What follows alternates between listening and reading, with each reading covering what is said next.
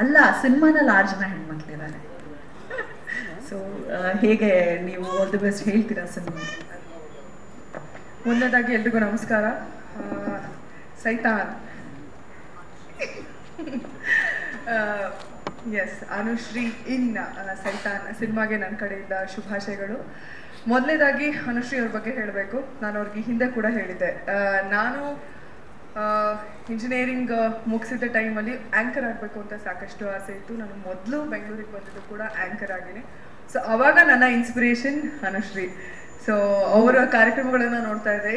ಆ ಥರ ಆ್ಯಂಕರ್ ಆಗಬೇಕು ಅಂತ ಸಾಕಷ್ಟು ಆಸೆ ಪಟ್ಟಂಥವಳು so I always admire you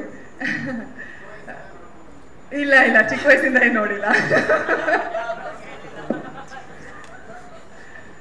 so S ಅವರ ಒಂದು ಸಿನಿಮಾಗೆ ಒಳ್ಳೇದಾಗಲಿ. ಆ್ಯಂಡ್ ಯು ಆಲ್ ನೋ ನಮ್ಮ ಕನ್ನಡತಿ, ನಮ್ಮ ಹೆಮ್ಮೆ ಸೊ ಅವ್ರಿಗೆ ಒಳ್ಳೇದಾಗಲಿ. ಹಾಗೆಯೇ ಲೋಹಿತ್ ಸರ್ ಅವರ ಮಮ್ಮಿ ಸಿನಿಮಾ ನೋಡಿ ನಾನು ತುಂಬ ತುಂಬ ತುಂಬ ಇಷ್ಟಪಟ್ಟಿದ್ದೆ. ಯಾಕಂದರೆ ನನಗೆ ಹಾರರ್ ಸಿನಿಮಾಗಳಂದರೆ ವೈಯಕ್ತಿಕವಾಗಿ ಬಹಳ ಇಷ್ಟ.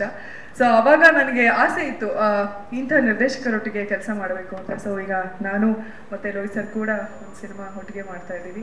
ಆ್ಯಂಡ್ ಮಿಕ್ಕಿದೆಲ್ಲರೂ ನನಗೆ ತುಂಬ ಕಡಿಮೆ ಜನ ಪರಿಚಯ ಇದ್ದಾರೆ ಭಾವನಾ ಅವ್ರನ್ನ ಕೂಡ ಮೊದಲನೇ ಸಲ ನೋಡ್ತಿದ್ದೀನಿ ಆ್ಯಂಡ್ ಆ ಜಡೆ ಒಟ್ಟಿಗೆ ಸೇರಲ್ಲ ಅಂತ ಹೇಳಿದ್ವಿ. ಹಂಗೇನಿಲ್ಲ. ಅದು ಸುಮ್ಮನೆ ಮಕ್ಕಳು. ಗಂಡ್ ಮಕ್ಳು ಯಾವಾಗ್ಲೂ ಹೆಣ್ಮಕ್ಳು ಒಬ್ರಿಗೊಬ್ರನ್ನ ಜೊತೆ ಆಗ್ಬಿಟ್ರೆ ತುಂಬಾ ಏನೋ ತಲೆ ಉಪಯೋಗಿಸ್ಬಿಡ್ತಾರೆ ಅಂತ ಅವ್ರನ್ನ ಬೇರೆ ಮಾಡ್ಬೇಕು ಅದನ್ನ ಯೂಸ್ ಮಾತು ಸೃಷ್ಟಿ. ಸೃಷ್ಟಿಯಾಗಿರೋದು. Otherwise you all well and fine so ಮತ್ತೊಮ್ಮೆ ಈ ಸೈತಾನ್ ಸಿನಿಮಾಗೆ ಶುಭಾಶಯಗಳನ್ನ ಹೇಳಕ್ ಇಷ್ಟಪಡ್ತೀನಿ. ಹಾಗೆಯೇ ಮೊದಲನೇ ಸಾರಿ ಪ್ರೊಡ್ಯೂಸ್ ಮಾಡ್ತಾ ಇದ್ರೆ ಪಾರ್ಥಿಬನ್ ಸರ್ಗೂ ಕೂಡ ನನ್ನ ಕಡೆಯಿಂದ ಶುಭಾಶಯಗಳು. ಎಲ್ರಿಗೂ ಒಳ್ಳೇದಾಗ್ಲಿ.